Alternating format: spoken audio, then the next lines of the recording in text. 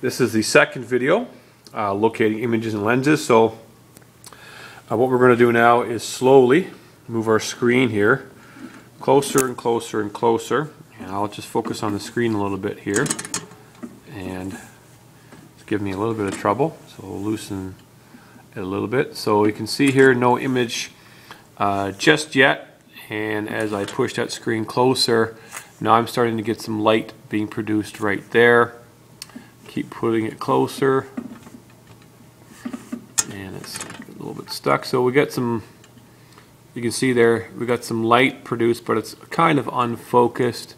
And around here, we've got a pretty sharp beam of light, although it's not getting picked up uh, quite clearly um, by the uh, by the camera here. So what we're going to do is we're going to mark uh, that spot uh, on the uh, on the rod here, which is difficult to see. I'll show you that by turning the lights on and off, lights on, sorry, uh, in the third video, and we'll figure out where F and the secondary principal focus and 2F are actually found.